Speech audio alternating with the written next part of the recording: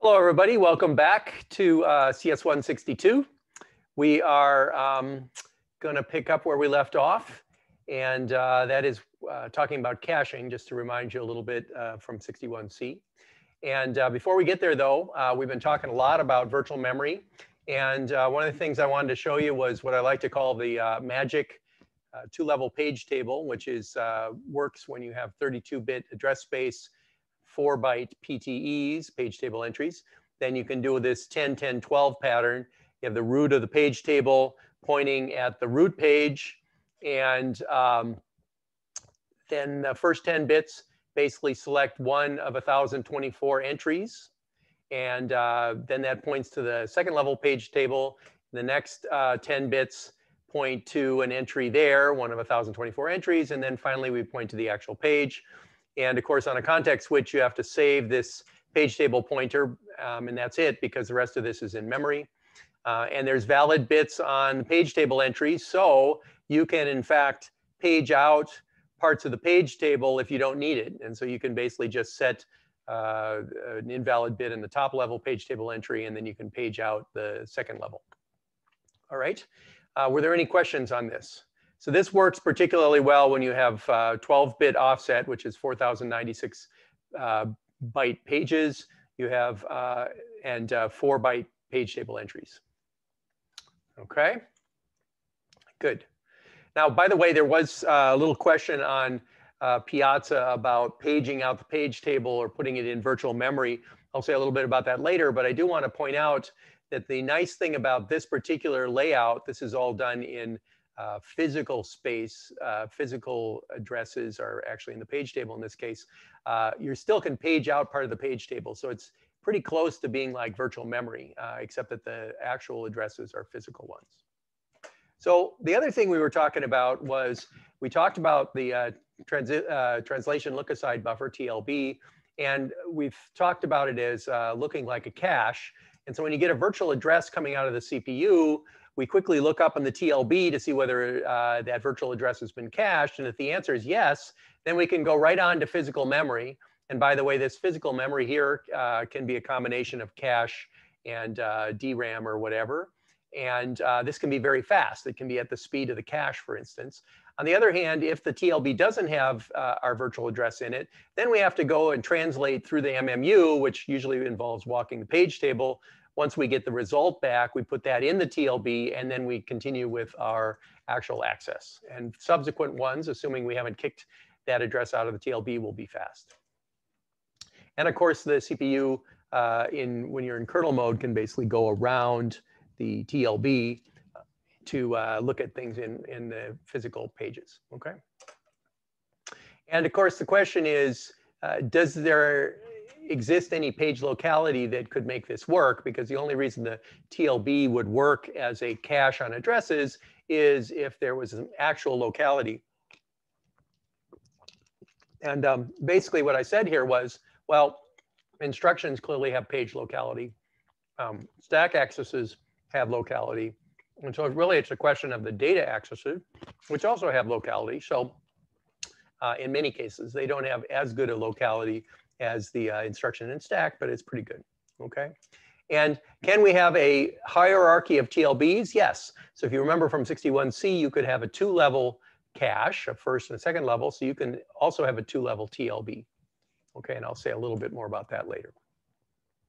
So what we're going to do uh, now uh, in the early part of the lecture is I want to remind you a bit more about caching, and, uh, and then we'll talk about TLBs, and then eventually, uh, maybe about halfway through the lecture, then we'll change to uh, how we actually use the TLBs and page table entries to get uh, demand paging and a few other really interesting aspects of the, the memory system. So we, uh, at the very end of the lecture last time, we were starting to remind you of sources of cache misses. And uh, I like to put these down. I call these the, uh, the three C's plus one because Mark Hill uh, when he was a graduate student here, came up with these three C's representing the source of cache misses. And uh, he went on to be a uh, very well-known computer architect, uh, faculty member in University uh, Madison, Wisconsin. But um, the three C's that he came up with in his PhD thesis were compulsory, capacity, and conflict. A compulsory miss is one that basically has uh, represents an address that's never been seen before, and so there's no way the cache could have had it in there because it's never been accessed. The only way getting around a compulsory or cold miss sometimes is called is basically if you have some sort of prefetching mechanism that can predict in advance, then you could possibly get around compulsory misses. The other two, capacity and conflict, are uh, more interesting. So the capacity miss basically is a miss that occurs because the cache is just not big enough. So you put your, uh, your data into the cache, the cache uh, is giving you very fast access for a little while, and then eventually you try to put too many other things in there and you kick something out. And so when you miss again, that's called a capacity miss because the cache was too small. Now that's a little different from a conflict miss.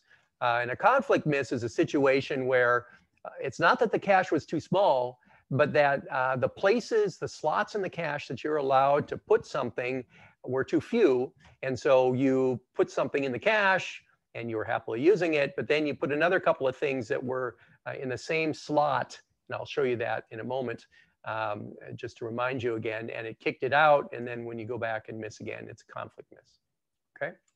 And of course, um, the, the plus one portion of this is coherence miss. This was not talked about in Mark Hill's thesis, but um, I like to put this down just to remind you that this is another source of miss, where if you have a multi-core, let's say with two processors, two, two cores, one of them loads something in the cache and it's reading it. The other one goes to write that item. The only way to keep the cache actually coherent is for an invalidation to kick it out of the first cache uh, so that it can be written cleanly in the second one. And at that point, when the first processor looks again, it's a miss and that's a coherence miss. All right. So um, do we have any uh, questions on this? Okay. These are all reminding everybody of 61C, I hope. So um, now, when we're using a cache, this sort of generic uh, way of looking at addresses is the way that uh, we often like to think of it. So this full width uh, from left to right is the number of bits of an address. So for instance, in a 32-bit processor, this might be 32 bits. The bottom portion, let's say five bits, represents an offset inside a cache block, okay? And so once you basically store things in the cache at a minimum size, maybe 32 bytes, or in a modern processor can be 128 or 256 bytes, that all of those bytes are pulled in at once or kicked out at once. And so the block offset really just says, well, once I found a block in the cache, where do I access it from? The next two fields, the index and the tag, are somewhat more interesting. So if you imagine the bottom part is within a block, then the, the top two pieces are about finding the block for you. The index basically is uh, selects the set, and then the tag sort of says, well, within this set of possible uh, cache entries, let's see which one might match the one I'm looking for, okay? So the block is the minimum quanta of caching. It's the minimum thing that goes in and out. Think of that as, for instance, 32 bits, uh, excuse me, 32 bytes or 128 bytes. Um, and many applications don't really have um, the data select field in them because actually this is sort of the whole quanta goes back and forth. But if you look at a processor accessing a single byte, then you need the offset. The index is used to look up things in the, in the cache and identifies what we'll call the set for you that are remembering. And then the tag is used to show you the actual copy. So um, let me give you this in figures because that's always easier here. So let's look at the first thing is called a direct mapped cache. And a direct map cache is a two to the n byte cache, uh, for instance, where the, upper, the uppermost 32 minus n bits are the cache tag, okay? And the lowest m bits are the byte select. So let's take a look at this. So here's an example where we have a one kilobyte direct map cache with 32 byte blocks. Okay, so if the blocks have 32 bytes in them, uh, we know that there are 32 entries. How many bits do we need to uh, represent 32 entries? Quick, do your log base two, everybody. Five, very good. So um, here's the layout of a direct map cache. So what I'm gonna do is my cache data uh, has room for 32 bytes. Uh, it has room for a tag and it has room for a valid bit. And there are some number of these, okay? And what we do is we take this address, which has five bits, as was mentioned by folks on the chat, okay? Um, and uh, the cache index is uh, going to be used to look up in the cache, and then we're going to match the tag. So the first thing we do is we take the index, and uh, in this case, there's five bits of index, and so that's going to select one of 32 cache lines. And um, then once we've picked a target cache uh, line, then we'll check and see does the tag match or not. And if the tag matches, then we know we're good to go. And at that point, we can actually say, well, this cache line is valid. So I'm now going to use the byte select to pick which of the 32 bytes and I'm good to go. Okay. And notice that um, there's only one slot here uh, to put in the cache for something that has this index. Okay. So that's why it's called a direct mapped cache because you give an index that only gives you one possible cache line. And then that cache line or cache block is then a single tag is matched. Okay. Does that remind everybody of how, how this works? Okay, so now let's go a little further on this, unless there are questions. Okay, this is pretty straightforward. And again, the reason it's direct mapped is there's only one full cache line that comes out of the cache index. So here's a set associative cache where we do, oh, and the other thing I wanted to say about this is notice that we have five bits in the byte select and five bits in the cache index. So that's a total of 10 bits, which is two to the 10th is 1024, which you all have memorized uh, quite well now. And that's a one kilobyte cache. So our cache total, if you add all this up, there's 1024 bytes in there. And that's because there's 10 bits that are selecting it, okay? Now, uh, let's go to a set associative cache where in general we could have n way. I'm going to show you two. And I'm going to make the same size cache total but I'm going to do this as a two-way set associative. So we're always going to have in this uh, set of examples five bits down below, but now instead of five bit index, we're going to have four bits. And the reason for that is we have two separate banks of cache. And so that index actually selects two different cache blocks, one from the left bank and one from the right bank. And then once we've got it, now we got to compare the tag with two different tags. And so that'll say which of these two lines that are in the cache uh, represent what I'm looking for. Okay, so this index now is selecting two things. I check the tag on both sides as a little comparator. And assuming things are valid, that's why I'm checking the valid bit. Then if I match, I get a one out of here. That selects for the mux. And so in this example, um, the left one matches the tag, the right one didn't, and I get data out. Okay, so that's a two-way set associative cache, two ways uh, set associative because we have a set that's got basically it's not direct mapped. Okay. Questions?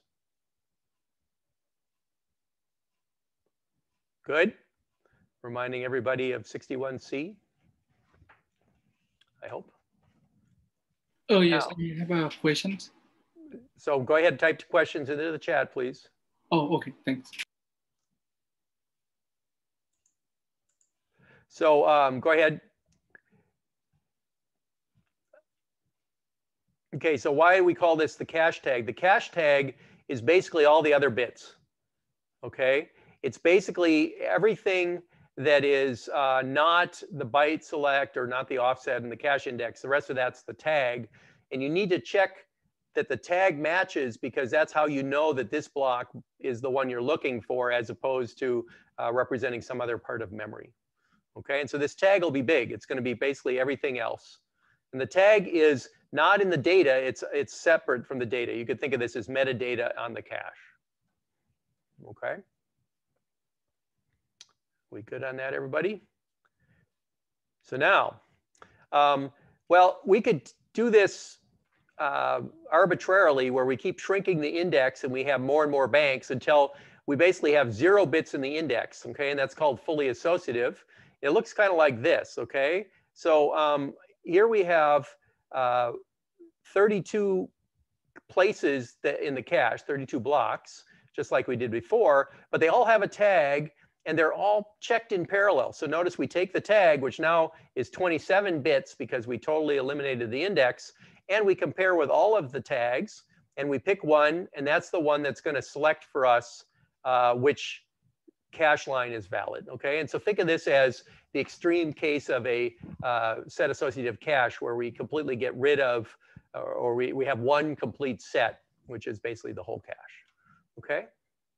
Now, can anybody tell me uh, which one of these associativities, either direct mapped, two-way set associative, or fully associative, is faster and why?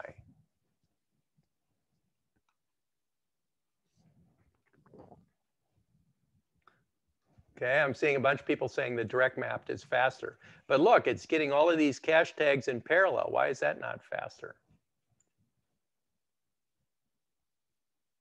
By the way, you're right. Direct mapped is faster. Does anybody know why direct mapped is faster?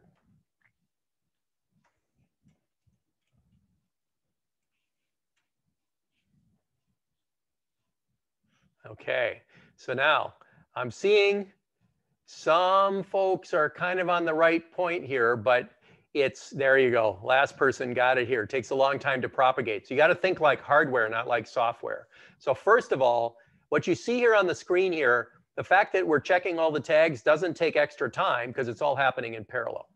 Okay, so you gotta, you know, the cool thing about hardware, and you know, I'm a hardware architect, so I think it's cool, but is we're not, we don't have to do this serially one at a time. We're doing all this in parallel. So you might think off the bat that the fully associative was faster. But in fact, what I didn't show you on the screen is once I've done a match, then I have to take this data and I have to um, select from it uh, in parallel based on the matching of the tags. And so I'm selecting sort of one cache line out of 32, which is slower because it's multiple levels um, than uh, this other case, which I'm selecting one of two which is yet again slower than the direct mapped case where I uh, don't have to do any selecting at all. So direct mapped is actually faster in hardware. Okay, and the other thing I will point out is that fully associative, because it's so much bigger, we're checking all of those uh, tags in parallel, actually takes up more space on the chip. And as a result, there's speed of light issues. And so it takes a little longer for the signals to get around. And so the fully associative is actually slower as well because it's bigger okay? So propagation speed uh, and size of things on the chip actually can matter when you're thinking about hardware. So the thing to keep in mind is direct mapped is faster, but notice there's something interesting about the direct map cache. I, there's a whole bunch of possible addresses, okay, that will all map on top of the same line here. In fact, anything that has the same index, basically all of the, well, how big is this? This is got, well, we took out 10 bits, it's got 20 bits. So there's a million addresses that all fit in the same place in the cache. And so if I access any of them, that's called a conflict miss. So when we were looking earlier about conflicts, I get a lot more conflicts with the direct mapped because there's only one place that I can place uh, those uh, million cache lines that have the same index. Whereas in the two-way, there's two places I can place it. So that's less uh, conflicts. And then finally, in the fully associative, there is, uh, I can put it anywhere. And so there's basically no conflict misses in the fully associative. Okay, good. So hopefully that's helpful. So now, even though fully associative is slower, it'll have less conflicts in it. And so when you start thinking about TLBs, we may want to make that decision if the result of a conflict miss requires a miss, which is really expensive, I might be more have more tendency to want to go to fully associative to avoid misses, even though it's a little slower. And you might start thinking a little bit about whether a TLB would make sense to be fully associative because the result of missing is going to be going and walking the page table, which could be very slow. So where does a block get placed in the cache? Okay, this is going to show you those three options here pretty clearly. So suppose we have a 32 block uh, address space here. Um, and this particular entry is uh, one that's going to map a bunch of different addresses. So if it's direct mapped, then uh, block 12 basically can go only in one place. Uh, this is the address space. Here's the cache. I've got eight entries. There's only one place for block 12 to go. That's 12 mod uh, 8 is exactly there. If I have a two-way set associative, there's uh, four sets, so there's two places that block 12 can go. And in a fully associative cache, there's eight places that block 12 can go. Okay, so this is another way to look. If I have the same size cache physically, the, the associativity, this is a direct mapped two-way set associative, fully associative. The associativity says something about what I have flexibility to put an item from the memory space up top here into the cache. Okay. Good. Hopefully this is all similar to everybody. So what do you replace on a miss? So if you're gonna um, load something new into the cache and you got to kick something else out of the cache, well, with direct map, there's only one place you can load, right? So in this case, if I now go to something else like uh, address 20, and I try to load it here in the direct map cache, there's only one choice of which one to kick out. It would be this one. So that's easy. But if I get to two-way set associative, now I got to pick one. I could pick either of the, them. Or in fully associative, I have to pick one. Okay, and that's called the replacement policy. And so direct map, there's only one chance. For set associative or fully associative, there's lots of options. Excuse me, random, least recently used, etc. So um, what you can see is that for a cache, oftentimes the difference between random and LRU is very little, especially when you get a larger cache. And so um, random works pretty well for caches when you get a lot of us, um, when you have a higher associativity and bigger caches. And so um, the cost of remaining, of keeping track of what the LRU is, is often not worth it in a cache. That's not going to be the case when we get to uh, page tables in a moment and paging. Um, the other question is, what do you do on a write? So we have two options. One is write through and one is write back. So in the case of write through, um, when I go and I'm writing data from the CPU, I write it into the cache and into the DRAM. So that's writing through the cache to the DRAM. Okay, that is um, good because it makes sure the cache has always got the most up-to-date data. It's bad because it's slower. So the speed of writing through to the memory is uh, is going to be as slow as the DRAM than as than as slow as the cache, right, or as fast as the cache. The case of write back, I actually just put the data in the cache, and I keep track of the fact that it's dirty or written, and then I have to make sure. So that's very fast. But now I have to make sure that when I kick it out of the cache because I'm replacing with something else, I'm writing it back to DRAM, or I'm going to lose my data. Okay. So pros of write through is read misses can't result in writes because the data is always up to date in the cache and you don't have to save it. Cons is the processor uh, writes are slower. Write back, the pros are repeated writes are not sent to DRAM and writes are fast. The cons is, is a little more complex to handle.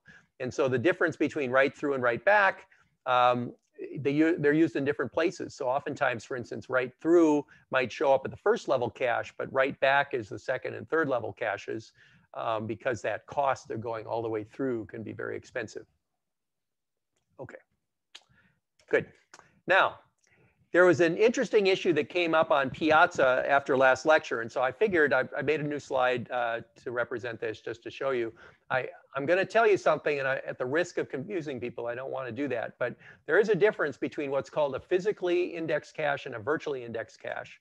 And so here's what we've been talking about. This is a physically indexed cache. So what does that mean? That means what comes out of the CPU is a virtual address. It goes to the TLB, and assuming the TLB matches, we combine the offset whoops, with the physical uh, page frame, and we go directly to the cache, and we've basically got, uh, we look up in the cache, and it's physically indexed. So what that means is the addresses we hand to the cache are physical.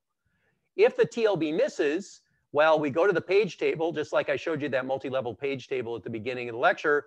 We go to the page table, and what happens there is um, it walks the page table, but those all of the addresses in the page table, including the top level, uh, is CR3 is basically physical addresses. And so we can, uh, when we look in the page table, we're just going through the cache just because we, we do. It just works that way, right? Because everything's physical.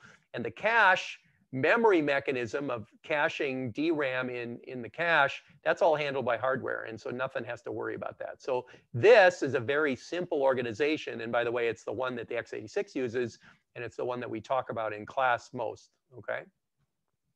The other big advantage to this, which I'll, you'll see what I mean in a moment, is that every piece of physical data, which means something that has a, a location in memory, has only one location in the cache. Okay, that's a physically indexed because the cache really is just a, a portal onto the memory. There's nothing special there. Okay, and so when we context switch, we don't have to do anything special with the cache. We might have to do something with the TLB, which we'll talk about in a moment, but we don't have to mess with the cache. Okay. Challenge to this, as you can see here though, is that assuming that we've made our cache really fast, maybe we have uh, three levels of cache and it's you know carefully tuned into the processor pipeline and all that sort of stuff to make it fast. The problem is that we have to take the CPU virtual address, pipe it through a TLB before we can even look at the cache. And so this TLB needs to be really fast. Okay. The other option, which came up in Piazza, was this idea of a virtual cache. Okay, the, this is uh, more common in uh, higher end servers that aren't made out of x86 processors. I would say this is less common these days. Um, but you take the CPU, and the first thing you do is you just look up in the cache. Okay, and that looking up in the cache, since the cache has virtual addresses to the index, is just fast. You just put the virtual address in there, you either get it or you don't. If you miss, then you got to do something. When you miss, then you uh, got to look up in the TLB. And notice that I intentionally put the cache and the TLB kind of uh, on top of each other because you can actually be looking up in the TLB at the same time you're checking in the cache. So you can overlap that. And then we look up in the TLB and assuming that the TLB hits, then we can just go to memory, find the physical data and put it back in the cache. These, uh, these arrows are all for addresses, which I don't have a reason I don't have a data uh, arrow coming back. And then we're good to go.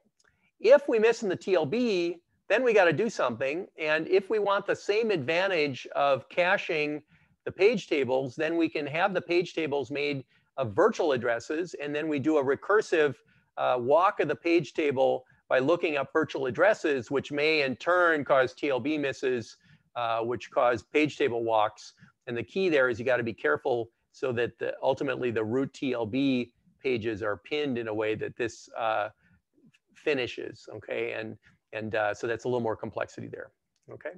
So the challenges of the virtually indexed cache, well, first of all, the benefit is this can be blazingly fast because there's no TLB lookup between the CPU and the cache. The challenge though is that if you think through this a little bit, you'll see that the same data in memory can be in multiple places in the cache because remember every process has its own notion of zero, for instance, I've said that several times this term. And therefore, uh, if two processes are mapping to the same memory, then they'll actually, um, they'll be in different virtual address spaces and that could be messy, okay? And in fact, what you need to do with this cache layout is when you switch from one process to another, you actually have to uh, flush the cache, okay? And that, that instance where you might have, and um, that instance where you might have the same data in multiple parts of the cache, is when you actually tag the cache with process IDs. We won't go into that here, but now you've got aliases where the same data can be simultaneously in different parts of the cache, and that can lead to all sorts of consistency problems. All right, so I just wanted to make sure everybody saw these two.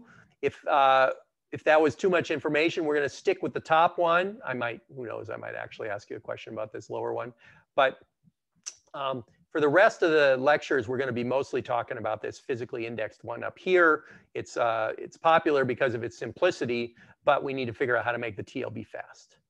Okay, so why is the page table virtually addressed here? Well, just because uh, if we want to cache the page table, which we do, we, because remember, we're, we're, pay, we're walking through a bunch of memory. We don't want to go as slow as DRAM, so we want to be in the cache.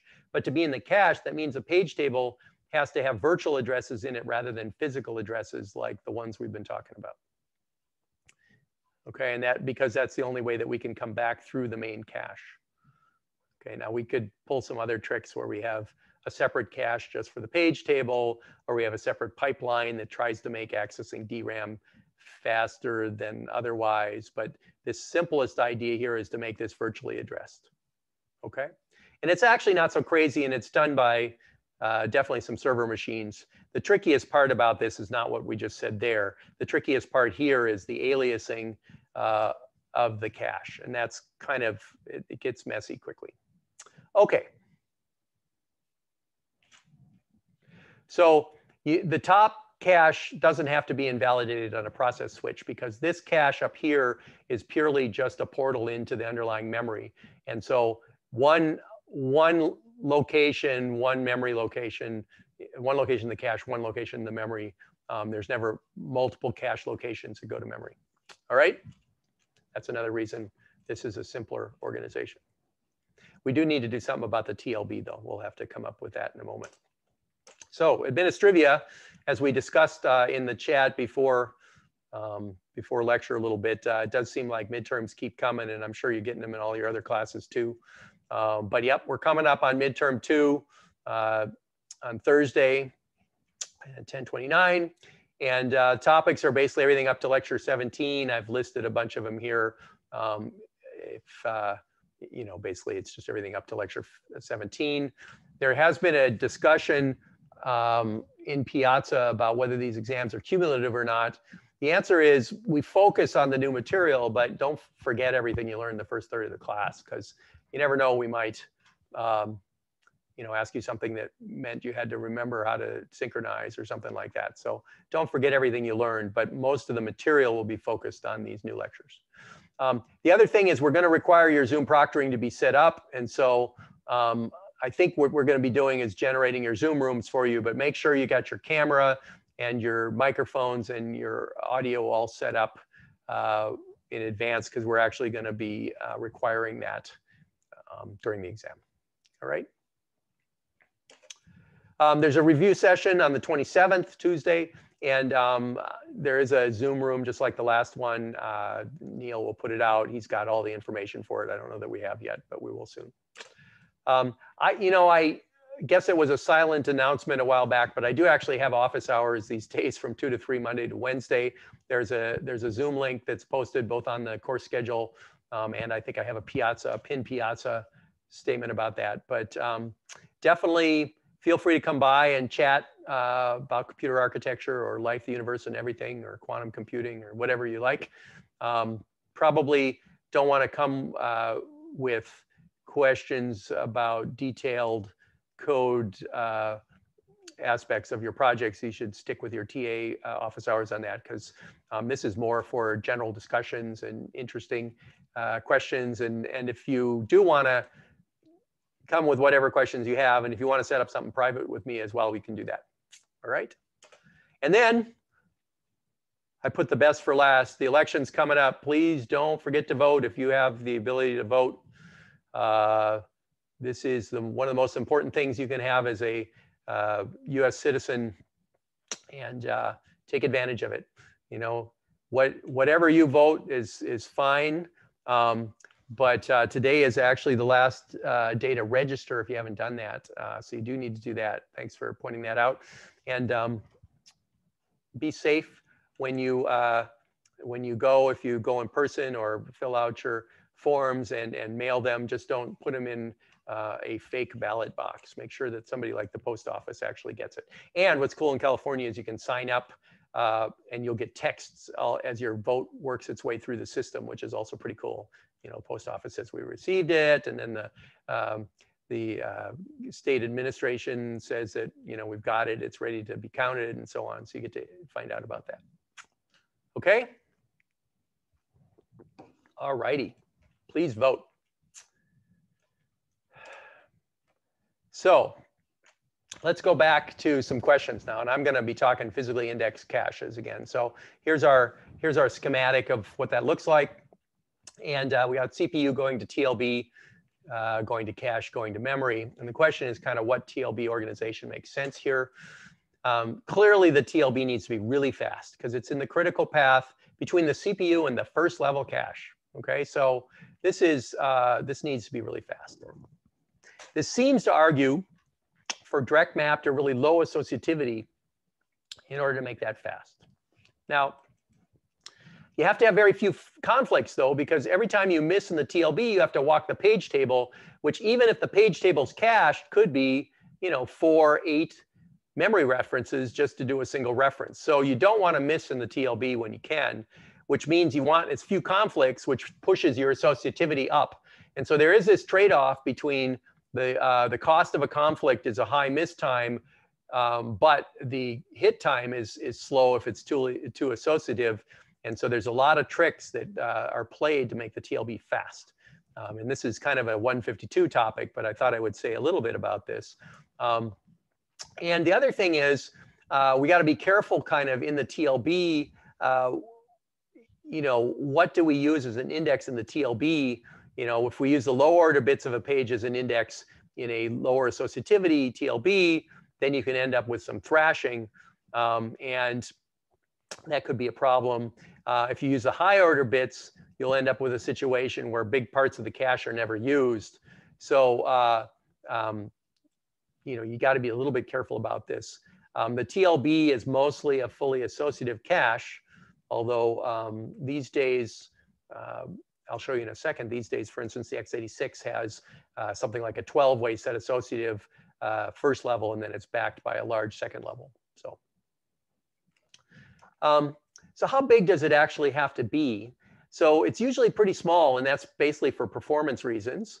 Uh, 128, 512 entries uh, are pretty standard.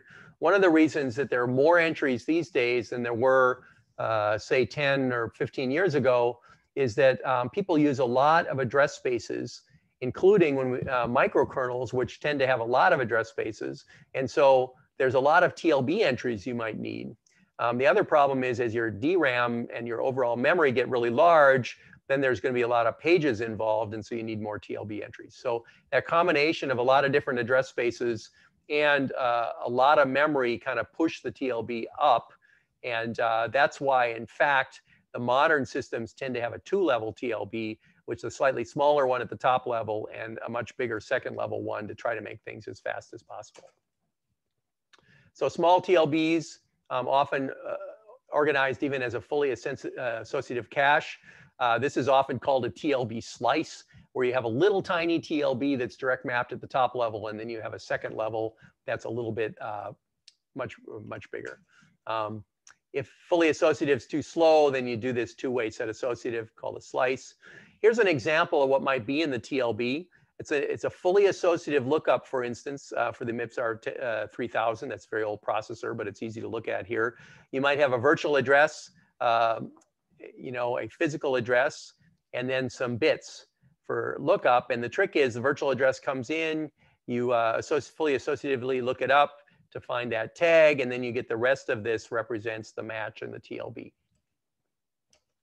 Um, the thing I wanted to show you about the R3000 is the R3000 uh, handled the question of how to deal with a fast TLB in an interesting way that was kind of possible back in the old days which is basically you need a TLB both for the instructions and for the data.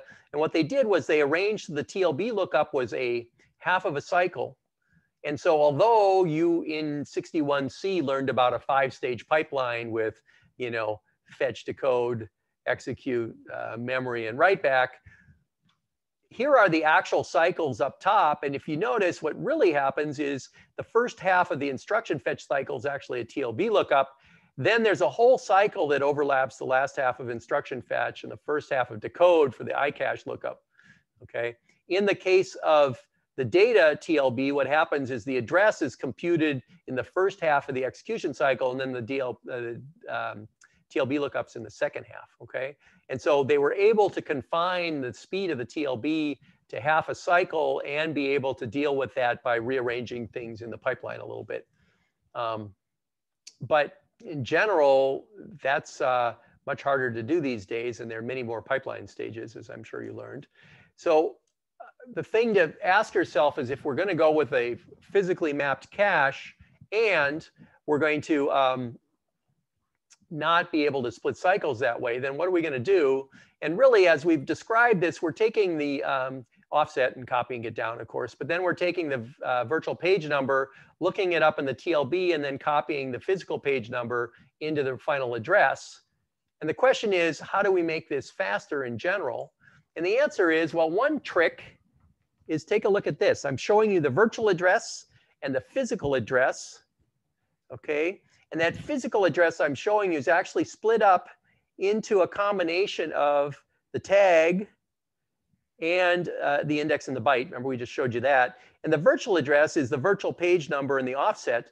and if you can arrange so that the offset overlaps the index and the byte and the cache, then you're golden because this index, this offset doesn't get translated by the TLB. So you can pipe this offset into the cache and immediately start looking up the index while you're looking up in the TLB. So you're overlapping the cache access and the TLB, even though logically you have to do the TLB uh, lookup before you do the cache access. Okay, so this is the example of the tricks. Here's a picture of that.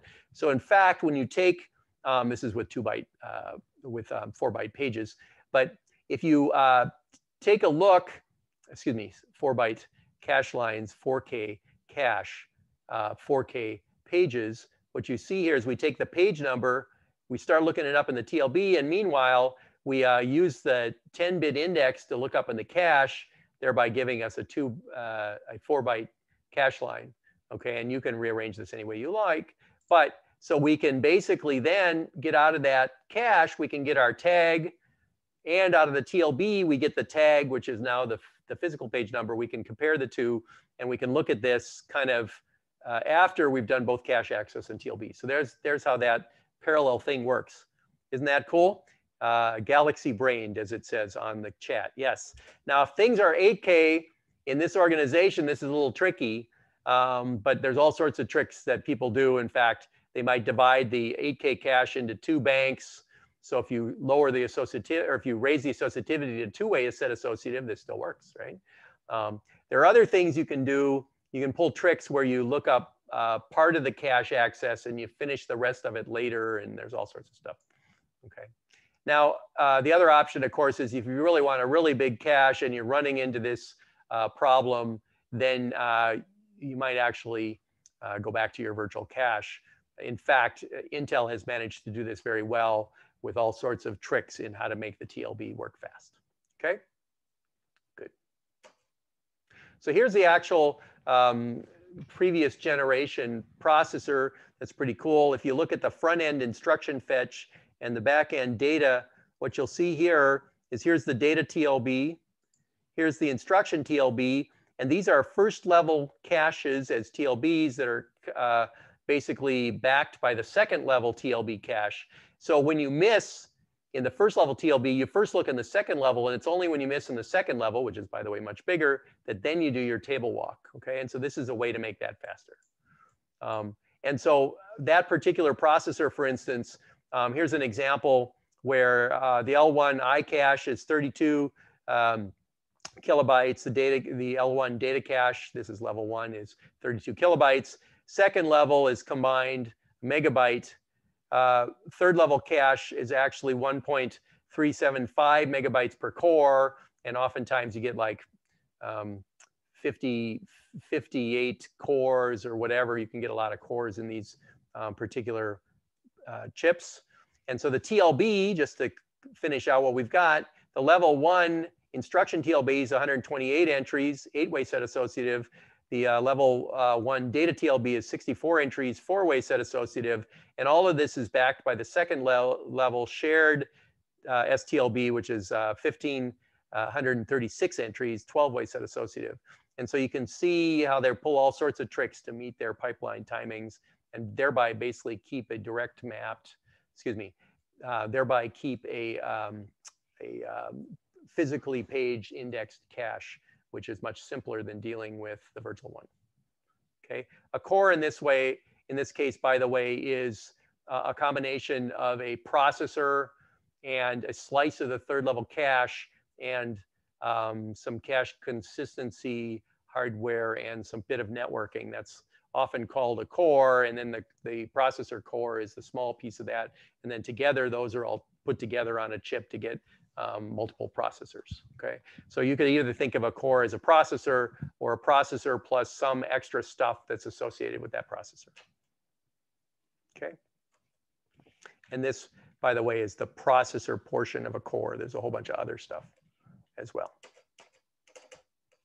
So what happens on a context switch in general? you got to do something. So uh, assuming for a moment that we have physically addressed caches, we don't have to mess with the cache. So that's cool. But the TLB still has to do something. And the reason for that is really that we just changed the address space from one process to another. And so all those TLB entries are no longer valid. okay? Because gee, that for process A, uh, it mapped zero to um, a particular part of the address space. And um, you know, you switch to B, and now zero gets uh, mapped to a different physical part of the physical space. And so we got to do something. We have a couple of options. One is you can flush out all of the TLB uh, with special flush instructions as soon as you context switch. A lot of early processors, and by early I mean uh, as early as seven years ago, you had to do this. So every context switch, you actually had to flush the TLB out. And you can see now why a process switch from one process to another might be actually expensive because you're flushing a bunch of stuff. Now, more modern processors, which Intel has made much more common these days, actually have a process ID in the TLB. And so when you switch from one process to another and you switch an ID register in the processor, then it knows automatically to ignore the uh, old entries of the TLB from the other process and put new ones in there. And by the way, when you switch back to process A from process B, it's quite possible that a lot of the TLB entries are still there. So this is a much better sharing of TLB amongst much, multiple processors. Uh, and it has the advantage that you don't have to flush the TLB out when you go from uh, context switch, okay? Um, now, if the translation tables themselves change, which basically means the uh, you know page table changes, then you got to do something, okay? And uh, in that case, you really got to invalidate the TLB entries, and I'll show you more about that in a moment. And that's because the TLB is a cache on the page table. And if the page table gets changed in software, you got to do something about the TLB, which is still in hardware. And this is typically called TLB consistency. All right. And of course, with a virtually indexed cache, you also have to flush the cache, or you have to have process IDs in the cache. Okay, so that's also uh, potentially tricky. All right. Now, um, I'm going to show you this in a second. So um, let's look at this particular example I'm going to show you here. And uh, the, there's a question in the chat about the difference between the uh, TLB and the page table. And hopefully this will help a little bit. So the TLB is a cache now on the page table. But if you look here, let's put everything together. So our virtual address uh, has, and this is going to be that magic 10, 10, uh, 12 uh, layout. Um, so our virtual address has uh, this piece in red is the virtual page number. It's going to have two pieces to it. The offset is, of course, going to get copied to an offset in the physical address. So this is the easiest part of translating from a virtual to a physical address. So uh, always remember that. Okay, that's a way to get yourself some points, right? So um, now let's look at what happens here. So physical memory is over uh, in the, the uh, mint green on the right there. So we have a page table pointer pointing at the first level page table. We take the index. Um, that lets us get a page table entry. That page table entry is going to include a physical pointer to a next level page table. Um, and so then uh, we're going to get use that to look up the physical page number. Okay, and now that's our physical address. So what are we going to do with that physical address? Well, the physical page number is actually pointing at a page, which is, for instance, if this is 12 bits, uh, this is going to be four kilobytes in size. And then um, the offset will pick uh, a chunk inside the page, and that'll be the thing that we're accessing. So I hope that everybody kind of sees the analogy here right off the bat between uh, paging and caching, right? Because remember, in the case of a cache, uh, we looked up the cache line, this light blue thing, and then we had the offset to look up the dark blue thing.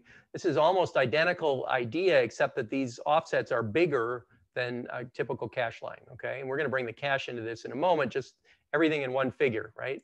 Uh, so now this was all fine and dandy, okay, except that we had to walk our way through this page table, which is, is uh, expensive. So now this, in, in uh, the question that was in the chat is, what's the difference between the TLB and the page table? This is the page table.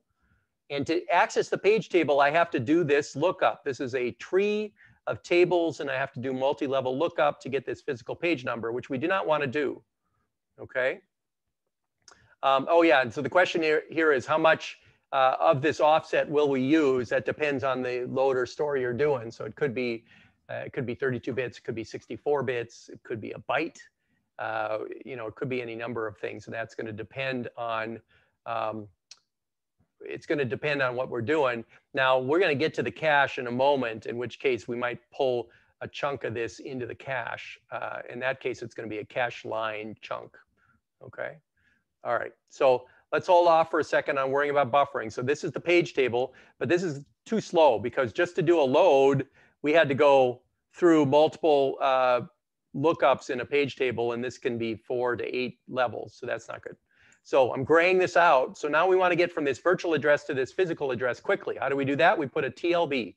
So what we're going to do is we're going to remember this translation, okay, down here in the TLB where we actually take uh, the virtual address, this red thing, and we put that as the, as the tag and say a fully associative cache.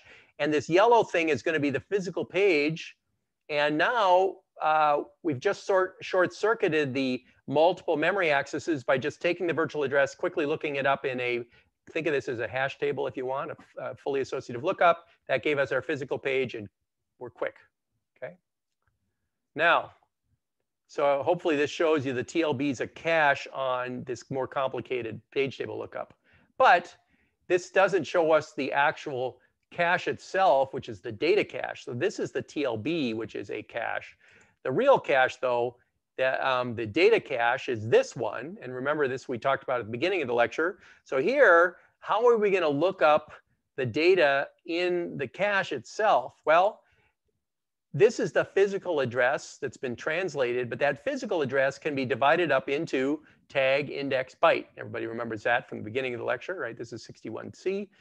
And so that index would be used to select a cache line.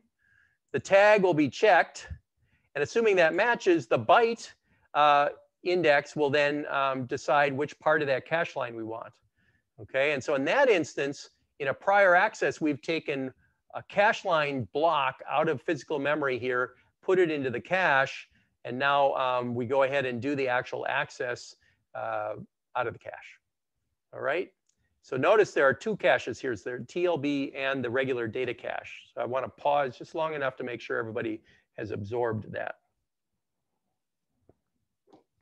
So the dark blue on the right here actually corresponds to, I guess you could say it corresponds to either this dark blue piece here, if I'm looking at only a little tiny bit of this physical memory, or you could say maybe it corresponds to this whole cache line. But actually, if you look at this offset as being down to the byte, and there's a particular byte here, then this could, this byte, the dark blue piece could be the same as this dark blue piece.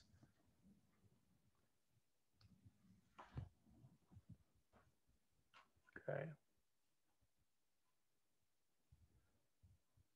So during a context switch, where do we flush the TLB to? Um, outer space. It goes into the bit buckets and little ones and zeros go dra draining out the, the, uh, the waste bucket in the back of your computer. No, uh, basically when you flush the TLB, you just throw things out here. Because uh, if you look, if you think about this thing in the TLB, let me back this up a little bit here.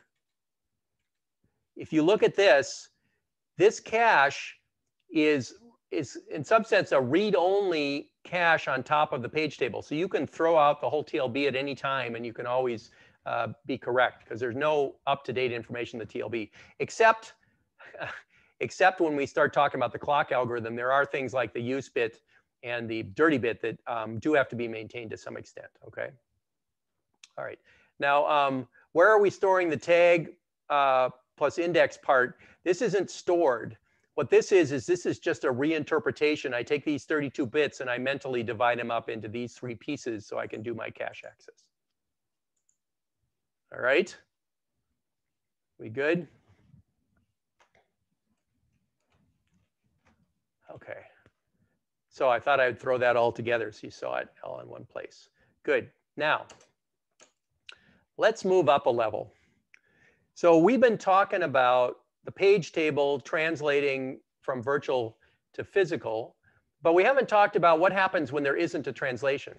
Okay, and what does that mean? That means that one of there isn't actually an entry in the page table for every possible mapping And therefore, some of these are marked invalid, which means that we're going to get a fault. We're going to try to do this access. We're going to get as far as looking, you know, the last level page table or maybe the top level page table will encounter an invalid bit. And at that point, the hardware is like game over. I can't do anything about this. Okay. And that's called a page fault. All right. And um, what happens there? Well, the page table entry is marked invalid. Um, okay. Or in the case of uh, Intel, not present. Right. And uh, at this point, um, that's a problem. Another problem could be we try to do a write, but the page is marked as read only. Um, some other access violation or doesn't exist at all. These are all possibilities. And what's going to happen there is we're going to cause a fault uh, or a trap. It's a synchronous fault, which is not in, it's not an interrupt. Interrupts are asynchronous. This is a synchronous fault because a memory access failed. And at that point, we have to do something to move forward. Okay. And in that case, other page faults actually engage the operating system uh, to fix the situation and try to retry the instruction. Now, good question. What's the difference between a page fault and a segmentation fault? So typically, a page fault occurs when you try to access a page in the page table and it's not currently allowed. Okay, and what happens there is uh, the, the operating system gets a page fault and it can now do something just because you get a page fault doesn't mean that you um, can't do something. You might pull something off of disk. You might do a copy on write operation. You might do any number of operations. So a page fault isn't necessarily fatal. So that's one thing. Oftentimes a segmentation fault is thought of as fa uh, fatal. So when your program dies with a segmentation fault, uh, it's historical. Uh, it's called a segmentation fault because typically you're working outside of the segment. Well, it is exactly like memory segmentation, but when you try to go outside the segment, if you remember back to a few lectures ago, that's can't go on and that's a segmentation fault.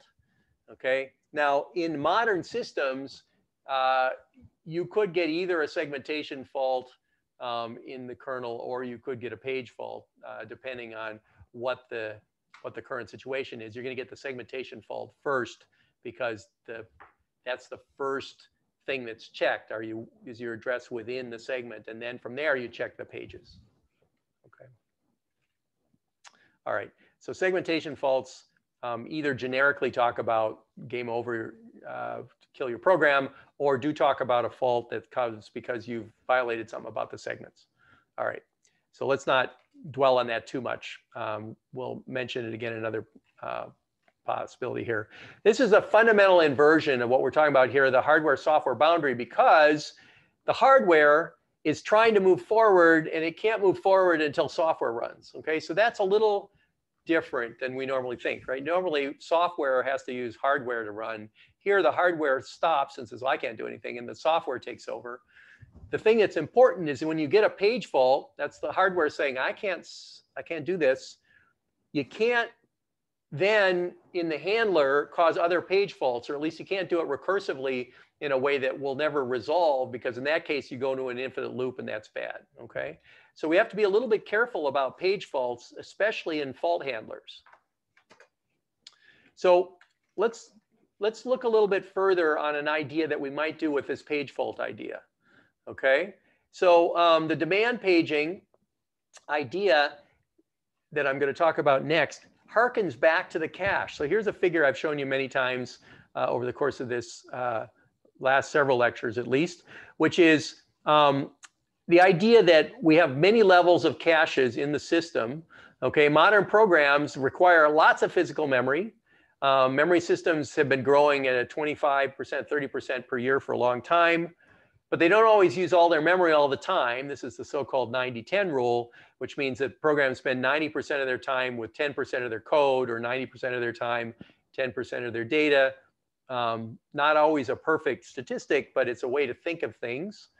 And it would be wasteful to basically require you to have all of that huge amount of storage that you're not using in instructions, say, or in libraries that you've just linked but not used in the fastest memory. And so this memory hierarchy is about caching. It's about making the speed uh, of the system look like the smallest, fastest item, but have the size of the largest item. Now, the largest one I show here is tape. I know that's probably way uh, before your time. But um, instead of just disk, we could have uh, uh SSD and then spinning storage. And then um, there's still people still use tape in some very rare instances. But um, so the idea here would be, can we use our paging? Tape is much larger than disk potentially, um, although disks have been getting awfully big. And so pretty much tape is, is a legacy thing now. But the trick we're going to do here is we're going to use main memory, which is smaller than disk in almost all cases, as a cache on the disk. And so we're going to think of the image of the process as large on disk, and we're going to pull in only the parts of the process we need into physical DRAM. And what we're going to do is we're going to try to make it look like, even though our image is huge, we're going to get the speed of the small thing with the size of the big thing. Let's say disk, for instance. And we're going to do that by using page faults cleverly. We're going to basically say we're going to start with all of the pages invalid or a small number of pages invalid for a process. And then as we start executing, we're going to get a page fault for a page that's not currently in memory. And then we're going to pull it off of disk into memory and then uh, mark the page table entry as valid. And we're going to keep going. And if we do this correctly, we'll eventually get the working set, and I'll show you what that means in a moment, of the process into memory. Uh, and so that only those things that are actively being used have to take up space in DRAM. Okay, we call that uh, demand paging. And so by the way, um, caching is uh, called different things depending on who does it. So um, when you hear caching, typically, you, and especially in 61C, you are talking about taking the DRAM and using the second, third, you know, first, whatever levels of cache as a, a higher speed version of the DRAM, and all of that's done in hardware. We are now going to do the same idea where we have disk as our backing store, and we're going to use the, the operating system to pull in the parts of the disk that we need and put them into DRAM and mark the page tables appropriately so we can get the same idea of caching, but it's going to be done in software rather than this other typically called caching that's done in hardware. Okay. So let me just show you an idea here. So here we're executing an instruction. You know, we get a virtual address. We go to the MMU. Uh, in the good case, we look up the page in the page table, and hopefully this is in the TLB, so it's fast, although this is not relevant for this current discussion. If this all works, we basically go to memory and we access that instruction. So that's good because we've basically put the, uh, the current instruction we want in our DRAM. Now, however, it's possible we go to this and it's not there. All right, and in that instance, what would happen is we um, get a uh, page fault because we try to look it up in the page table and it's not working, you know, basically come back invalid, in which case we get a page fault and we enter the operating system with an exception, okay? And in that case, we have to deal with the page fault handler. What's the page fault handler do? Well, you're all very familiar now with what happens when we do a system call into the operating system. Same idea with the page fault handler. It's going to be running on the kernel uh, stack. It's going to identify where on disk that uh, page is, and it's going to start loading the page from disk into DRAM. And it's going to update the page table entry to point at that new chunk. And then later, we're going to run a scheduler, put this back on the ready uh, queue, which will then try the instruction again, which in this case will work and we win, okay? So this is demand paging. All right. And notice, by the way, that um, I sped this up a little bit. Obviously, when we've started, when we start the um, million instruction uh, load off of disk into memory, we have to put that uh, process on some wait queue. And then when the data is actually in memory, we wake it up from the wait queue. And that's the point at which we can fix the page table um, and then uh, put the process back on the, the ready queue so that it can run. Okay. All right, so this is called demand paging. Questions?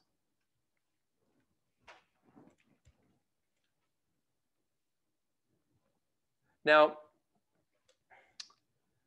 let's look a little further along here. So demand paging is a type of cache, and so we can start asking our questions. And by the way, why is this a cache? Look, when we missed originally, it wasn't in the cache. That was a cache miss. And then we put it into the cache, and now we have a cache hit, right? So this is just like a cache. It's just being done in software, and we're pulling things in not in cache line size things, but in pages off the disk. And so that's our first question. What's the block size? One page, which is now four kilobytes, not 32 bytes or 128 bytes, okay? What organization do we have here? Well, this is interesting. I hope you guys can all see this is a fully associative cache because we have an arbitrary mapping from virtual to physical because of the page table. So the, um, the page table gives us a fully associative cache because we can basically put that page pretty much anywhere we want in the memory. Okay. How do we locate a peg? Well, a page. We first check the uh, TLB, then we do a page table traversal, and then uh, hopefully we found it. And if we still fail after all of that, then we might do something more drastic like kill off the process. So earlier we were talking about in a cache, we could think about randomly replacing or we could think about LRU. The question is, what's the replacement policy? And this is actually going to require a much more interesting longer term discussion, which we're going to start tonight, and then we're going to move our way next time in more detail. But, um, you know, is it LRU? Is it random? It turns out that the cost of a page fault that has to go to disk is high, right? A million instructions. So we got to be really careful when we uh, have our DRAM is full of other pages. We have to be very careful of which one we choose to replace. And so the replacement policy, we can't just say, yeah, random works pretty well, or ah, LRU works pretty well. We have to do something else. And it turns out we're going to want something like LRU, but we're not going to be able to do that well. And we're going to show you that in a little bit, okay? Maybe next time. So what happens on a miss? Well, on a miss, you go to the lower level to fill the miss, which is you go to disk, okay? What happens on a write? Well, here's a good example. Earlier, I talked about write through versus write back. And maybe at the top level cache, you do write through to the second level cache. Here, you absolutely cannot do write through. Okay, why can't we do write through for uh, paging? Anybody guess? Yep, that means that a write from the processor, which is supposed to be really fast, is going to take a million instructions worth of time.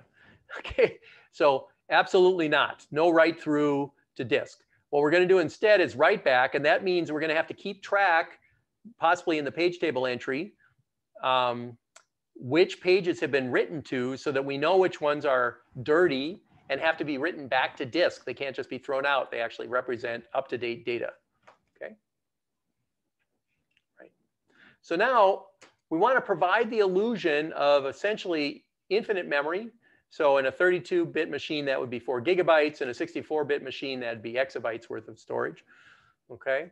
And we want to do that by using the TLB and the page table with a smaller physical memory. So I'm showing you here four gigabyte virtual memory and a smaller 512 megabyte physical memory that represents uh, only the data that's in memory and has to be shared amongst a bunch of different processes.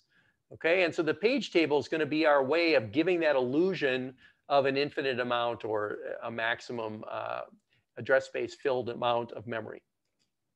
Okay, and the way that works is in the, T, the TLB mapping through the page table is going to say that while certain items are in physical memory, others are not and they're on disk. And it's going to be up to this page table to help us with that mapping.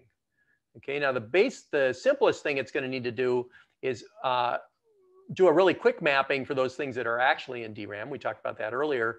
For the things that aren't on DRAM, then there's more interesting flexibility here. One is that uh, maybe you put something about which disk block it is into the uh, page table, which are mostly not page table entry, which you're mostly not using. The other would be maybe a special data structure in the operating system. These are all options for locating on disk once you've, uh, once you've missed in the TLB page table combination. Okay, so disk is larger than physical memory, means that the uh, virtual memory in use can be much bigger than physical memory and combined memory of running processes much larger than physical memory. More programs fit into memory, more concurrency, okay?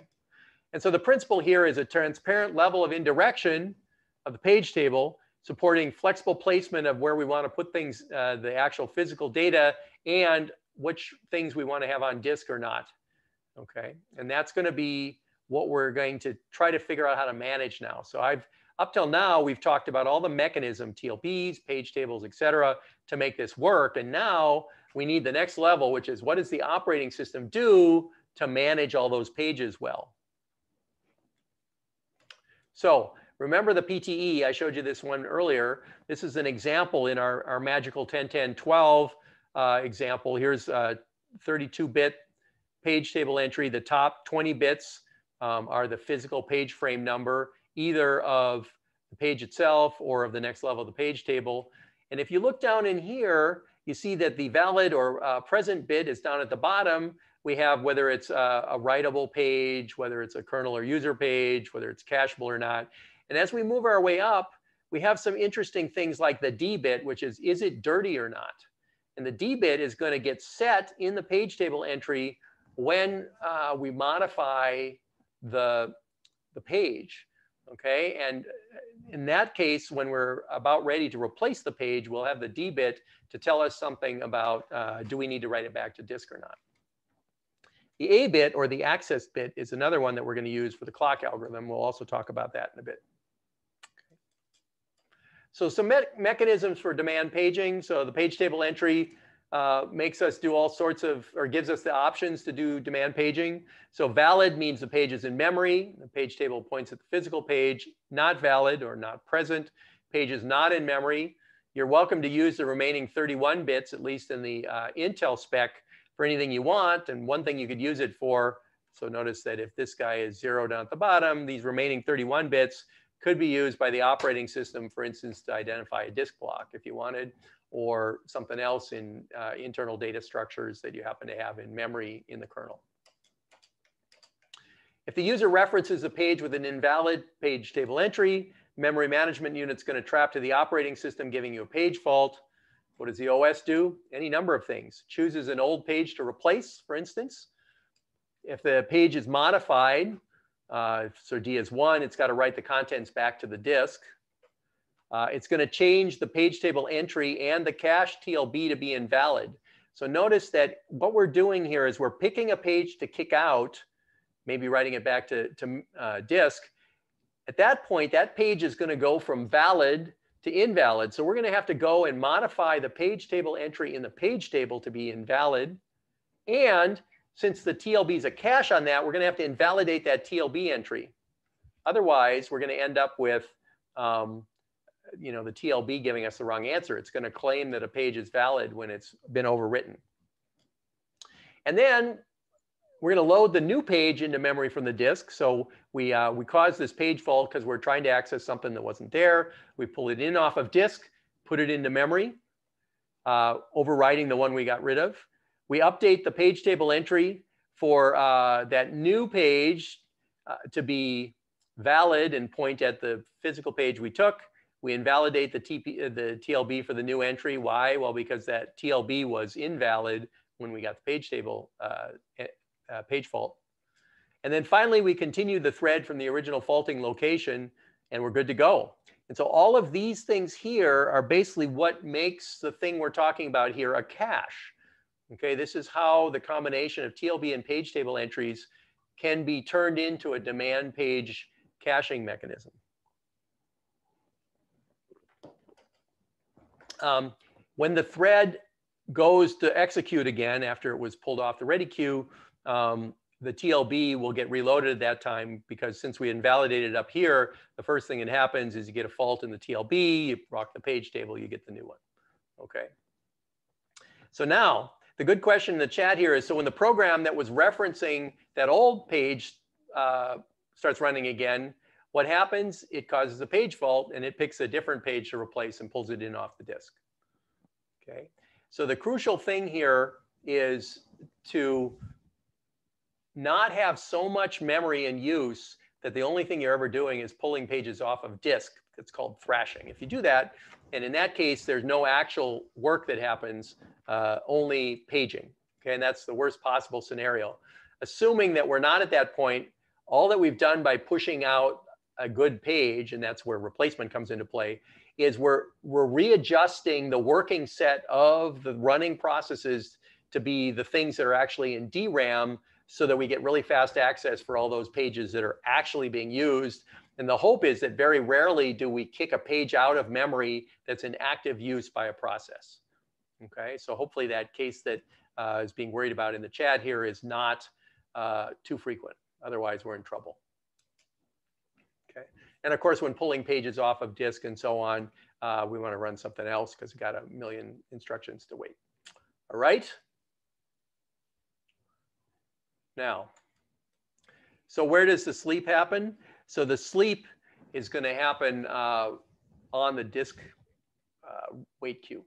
Okay, so the process that's basically trying to page in off of disk is going to, its uh, TCB is for that uh, thread is going to be placed on the wait queue for that disk, and it will get woken up when the block comes back from the disk. And when does the, the sleep happens after you uh, start everything in motion and get the access starting on the disk. And in that point, uh, when now it's all up to the disk, it's that's the point at which you put uh, that thread on the wait queue. All right and then it'll get pulled off the wait queue when, uh, when the thing comes back. So now the origin, origins of paging here are pretty clear.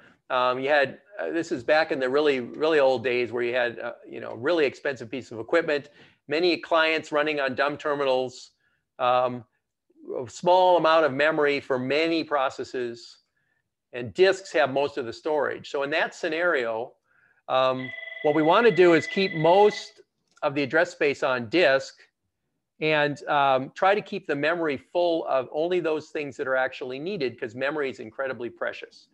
Okay, so a lot of the original paging mechanisms um, came up in that environment. Okay, and you're actively swapping pages to and from uh, the disk. Today, we're very different, right? We have huge memories. We have machines that rather than being owned by one uh, by uh, owned by one organization and used by many are typically owned by one user and uh, basically working many processes on behalf of that user. And so when we were talking about all the different ways of scheduling, part of those different ways were reflecting the changing needs of, of uh, resource multiplexing. And the thing, the same thing is true of paging. Okay, if you take a look um, for instance, you do something like here's a PSAUX type uh, thing you might get off of a, a Unix style operating system. Um, what you'll see here is the memory. If you look here at physical memory, we've got about 75% um, of it's used, 25 is kept for dynamics, and um, a lot of it's shared. So there's 1.9 gigabytes shared in, in uh, memories, distributed memories. You can see that up here um, distributed memory, excuse me. Um, a lot of it's shared in shared libraries, is what I meant to say. That's about 1.9 up here. And so really, there's a lot that's working on behalf kind of of one user. And so um, we're not so much uh, optimizing uh, by trying to get things out to disks that aren't used as quickly as possible. We're trying to keep things in, and we have a lot more memory to work with. And so we want to keep that in mind when we start talking about policies for paging. So there's many uses for virtual memory and demand paging. Um, we've already talked about several of them. You can extend the stack. You can allocate a page and zero it. Um, you can uh, extend the heap. Uh, you can do in process fork. You can use the page table by setting all of a copy of the page table to read only. Then only when somebody modifies a page do you actually copy it. And so fork is a lot cheaper because of the page table. Um, we've talked about exec where you can basically only bring in parts of the binary that are actively in use and you do this on demand, okay? Um, we'll, we haven't talked about mmap yet, but we'll talk about that for explicitly sharing regions to access the file, um, access uh, shared memory um, almost as, uh, as a file, and we'll talk about that in a little bit. And you can also access a file in memory too. So let me just show you, and um, if you'll bear with me a little bit, we'll finish up kind of here. Maybe we won't plow into um, too much new uh, mechanisms uh, after this. But so classically, you kind of took an executable, you put it into memory, and uh, that was, you know, you did this for a small number of processes. If you look at um, what we're going to do while we're doing that today, is we take um, a huge disk. We've got our executable, which has got uh, code and data, and it's divided up into segments and we load it and we want to map it, excuse me, into a process virtual address space. And that's going to happen because uh, we're going to map some of the physical pages off the disk into memory. Okay, and so if you take a look, for instance, when we start up that process, we have uh, a swap space, which is potentially set up that represents the, um, the memory image of this process. And notice that that memory image on disk uh, mirrors what we have in our virtual address space, okay? And the page table points at the things that are actually in memory, for, for instance, the dark blue process here, okay? And for all the other pages, the operating system is going to have to keep track of where on disk they are so that if the user tries to use other parts of the virtual address space that aren't currently in memory, then it needs to know how to pull them in.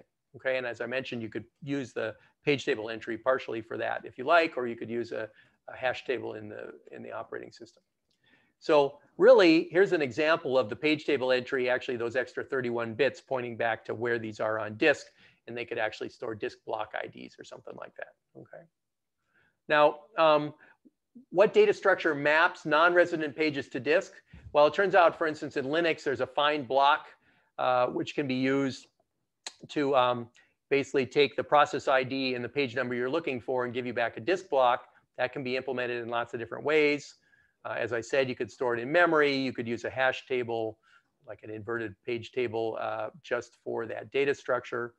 Um, and uh, you can map code segments directly to the on-disk image so that, for instance, when I start this thing up, I don't even have to load the code into memory. What I do is I point the um, virtual address space entries for that process directly at disk.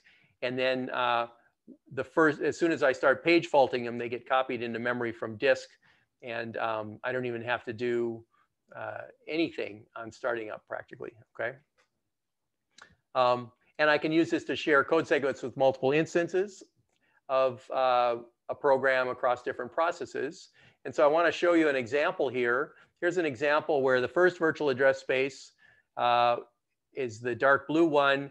It's got some code which is going to be shared. That's the uh, cyan color. And then there's going to be a green process I'll show you in a moment. Okay, here's the green one. So it's got its own image on disk. And if you notice, it's got sort of pointers back to where things are on disk. Okay, and the code here is pointing to the same disk blocks, which can actually be part of the original image, your linked image that you stored, um, the A.out that you stored on disk. Um, both processes can backlink to that, okay? And um, so that, that way they both can end up having their code point at the same part of memory. That's much more efficient since they're the same process, or the, excuse me, the same program that's running in different processes, all right? Um, here's an amusing thing to notice. So we have the active process and page table here might be the blue one. And what happens when we try to execute an instruction or look at some data that causes a page fault? Well, we go to the page table entry, it's, the data is not there. We cause a page fault. We figure out where the data is and we start the load happening. Okay, and that load is started on the disk controller. We'll talk about that in a couple of lectures. Meanwhile, we start the active process. We point it at the other guy and he runs. And eventually the data comes in. Okay, it gets mapped into the page table entry. We restart this page, this uh, process, and we're good to go. Okay, and at, at that point, we, we allowed the light green one to run for a while, and then the dark one uh, was put to sleep, and then it got woken up when data came back from disk. So those that's kind of showing you all of these little pieces we've been talking about all put together um, kind of in a big image. Um, are there any questions on that? Hopefully this helps a little bit.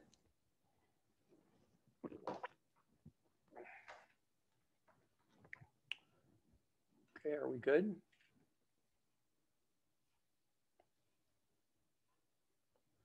So um, the steps in handling a page fault, just to show you this in one last way, is basically that uh, our program's running, it causes a reference that looks up in the page table, which traps with page fault. At that point, we figure out where the page is. It's on the backing store on the disk. We start the process of bringing it into a free frame. How did we get a free frame? Well, we replaced it, or ultimately we're going to be more sophisticated. We're going to have a free list of free frames. But we bring the page in. After it's brought in, we fix the page table entry and we restart.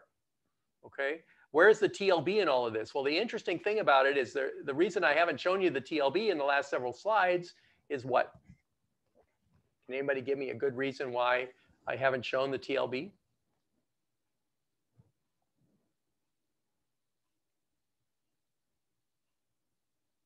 Well, you could say this is all with physical addresses, and that's true. But the reason I haven't shown you the TLB is the TLB is just a cache on the page table. It's making the page table faster. Just like I'm not showing you the cache in all this either. The cache is just making the, the uh, DRAM faster. All right, so the, uh, you could think of the TLB is part of the page table that makes everything faster. And when we talk about the hardware mechanisms, then we have to talk about the TLB. But here, for this level of abstracting, I said we pull up a little bit. We don't even have to worry quite yet about the TLB. There are some cases that I mentioned in that slide where I showed you why this was like caching, where we have to remember to invalidate the TLB to keep that caching illusion alive. Okay. All right. So some questions we're going to need to answer, and we're going to do that next time. During a page fault, where does the OS get a free frame? Well, might keep a free list. There might be a reaper that's busy pushing pages out um, to disk and keeping that free list. Uh, maybe as a last resort, we're going to evict a dirty page first. Uh, there's going to be some interesting policies there. How do we organize these mechanisms? We're going to have to work on the replacement policy. That's going to be our major topic next time. How many page frames per process? That's another question. Sort of how much of that precious physical DRAM do we give to um, to each process? And that's going to be a question. All right. Um, all right. So to finish up, we talked about um, caching. We finished that up. The principle of locality, of temporal and spatial locality, is really present in regular caches. It's also present in the TLB. How do we know when we have enough locality that the TLB works as a cache? We talked about three plus one major categories of cache misses, compulsory misses, conflict, capacity, coherence. We also talked about direct map, set associative, and fully associative organizations. Hopefully, hopefully they uh, reminded you um, basically from 61C. We talked about how to organize the translation uh, look-aside buffer. We talked about organizations. We talked about the why it's fully associative typically and what to do on a miss. And um, we are next time we're going to start talking about replacement policies and we're going to start with some idealized ones like FIFO and MIN and uh, LRU, it turns out, is also an idealized one for reasons we're going to talk about next time. All right, I've gone way over, so I'm going to let you guys go. Um, hope uh, you have a great evening, and we'll see you on Wednesday.